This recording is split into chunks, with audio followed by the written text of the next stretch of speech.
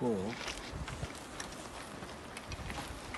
इसका पानी का बहाव किस तरफ़ जाएगा?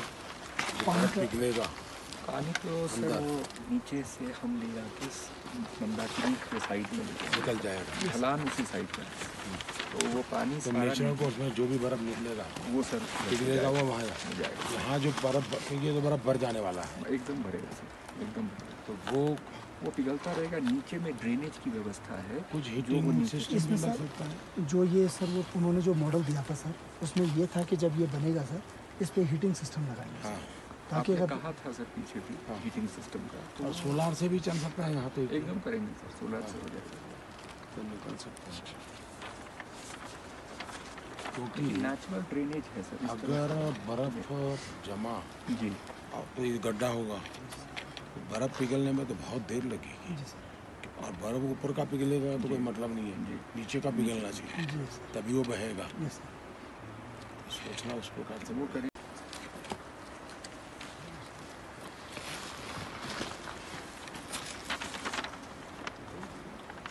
इसको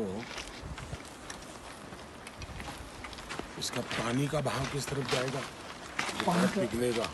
पानी तो सर वो नीचे से हम ले जाके इस मंदाकिनी के साइड में निकल जाएगा। ढलान उसी साइड पर तो वो पानी तो सारा नेचुरल कोर्स में जो भी बर्फ़ निकलेगा वो सर पिघलेगा वो वहाँ जाएगा। यहाँ जो बर्फ़ ये तो बर्फ़ भर जाने वाला है। एकदम भरेगा सर एकदम तो वो वो पिघलता रहेगा नीचे में ड्रेनेज की व्यवस्था है कुछ जो हीटिंग सिस्टम लग सकता है। जो ये सर वो उन्होंने जो मॉडल दिया था सर उसमें ये था कि जब ये बनेगा सर इस पर हीटिंग सिस्टम लगाएँगे। हाँ।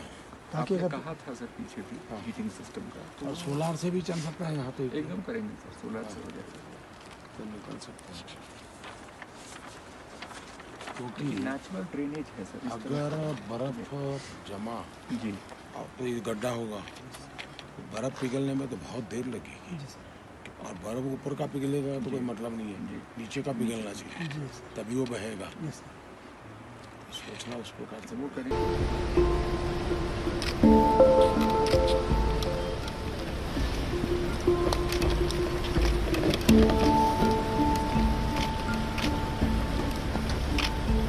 Jangan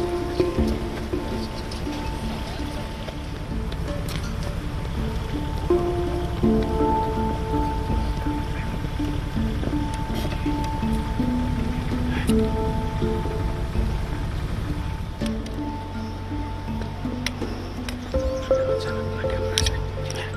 Mending kamu